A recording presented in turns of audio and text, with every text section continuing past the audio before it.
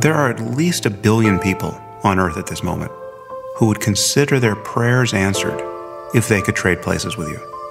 There are at least a billion people who are suffering debilitating pain or political oppression or the acute stages of bereavement.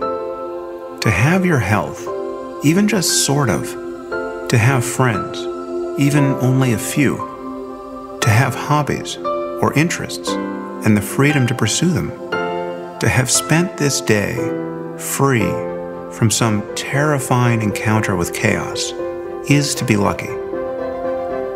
Just look around you and take a moment to feel how lucky you are. You get another day to live on this earth. Enjoy it.